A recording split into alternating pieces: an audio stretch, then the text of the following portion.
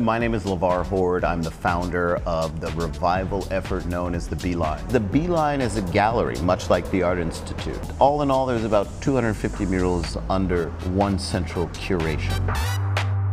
Uh, I lived in Fulton Market District for 11, 12 years now, and I would always walk by these murals with a sort of curiosity uh, about what these faded and cracked murals were. I called up the train company, uh, Union Pacific, and I asked them, what's the deal with that project? This was considered the Chicago Gallery 2. The block next to us was Chicago Gallery 1, and beyond that, it used to be called the Say Goodbye Gallery.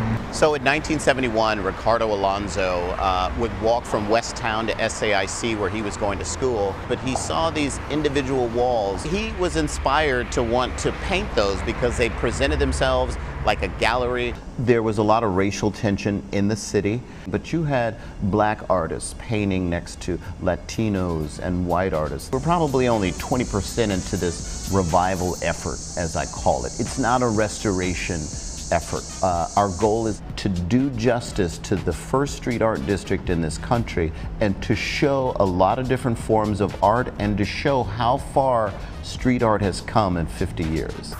And really, when you look at these walls, it presents itself just like that. It presents itself as a gallery with each one of these buttresses dividing the walls. I think you're gonna get like some high concept Mexican street art mixed with uh, something you might expect to see at the Art Institute. This abstract, uh, colorful murals like this, uh, and, and you're gonna get people of color, right?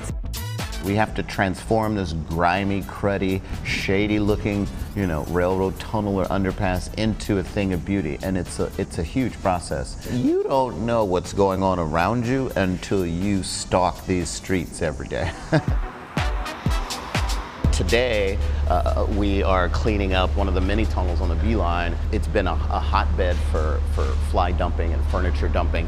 We call the city, they're not quick, shall we say, or don't respond. So we pick up the slack. Uh, I walk these tunnels and these alleys and this street every day.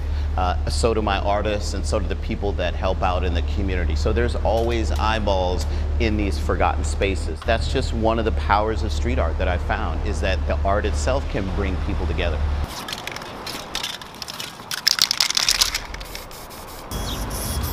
Uh, I'm from Lincoln Park. As a kid in Chicago, I don't really remember seeing a lot of like public art um, other than, you know, some of the like 1970s stuff here on Hubbard on the Beeline. Um, for me, when I was getting into street art, uh, before I started painting, uh, part of the thrill was just hunting it down, like going to see the new stuff popping up in the city. And the Beeline has been great, you know, about that. Like more and more artists from around the world are coming here to install um, but as a local, like it really, really means a lot to me, as I'm sure it does to other people, just because you get to have a little more pride in your city, you know, and it's a way to bring people together. This project has always been about being a community for artists.